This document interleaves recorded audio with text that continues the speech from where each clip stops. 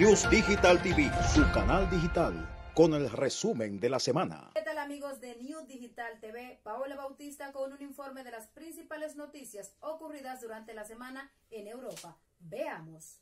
Francia ofrecerá una prima de hasta 1.500 euros para quienes decidan abandonar su coche viejo y contaminante a favor de una bicicleta eléctrica. El anuncio del gobierno de Emmanuel Macron se conoce una semana después de que el Parlamento galo diera su visto bueno a la ley sobre cambio climático. Al menos dos personas muertas, 31 heridos y tres permanecen desaparecidos tras una explosión registrada en una planta química de la ciudad alemana de Leverkusen. Las autoridades han emitido una alerta de peligro extremo en la zona.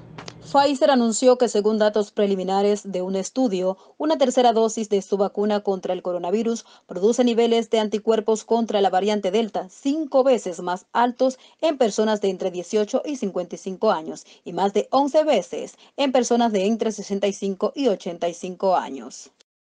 Hasta aquí el resumen de las principales noticias ocurridas durante la semana en Europa. Estuvo con ustedes Paola Bautista. Gracias por la sintonía. Mateos Multicultural Market abre sus puertas al público de Denver, Connecticut. Con nuestra ampliación tenemos productos internacionales, meat market, deli sándwiches y lotería. Estamos abiertos los 7 días de la semana. Este mes tenemos un especial Jasmine Rice de 20 libras por $19.99. Y para más facilidades para nuestros clientes, hacemos delivery gratis. Estamos ubicados en el 301 de Main Street, Denver, Connecticut. Teléfono 203-456-3904. Mateos Multicultural Market.